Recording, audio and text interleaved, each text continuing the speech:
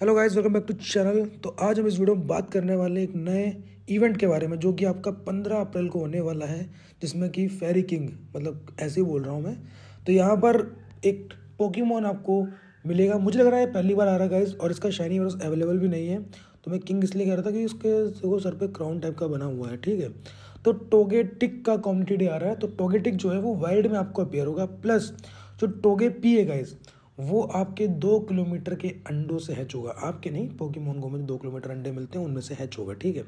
तो इस इवेंट में गाइज़ आपको जो लेगेसी मूव मिल रहा है, वो गाइज़ ओरोस्फेयर मिल रहा है, जो कि फाइटिंग मूव है आइस एंड रॉक टाइप और स्टील टाइप के अगेंस्ट में ये मूव काफ़ी अच्छा काम करेगा।